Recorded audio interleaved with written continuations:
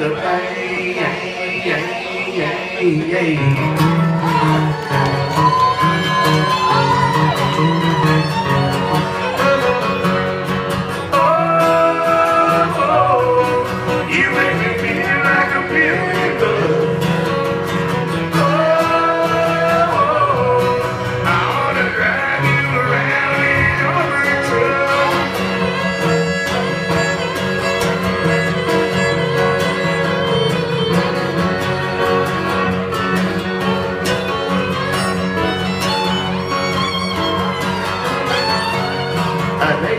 night I had a crazy dream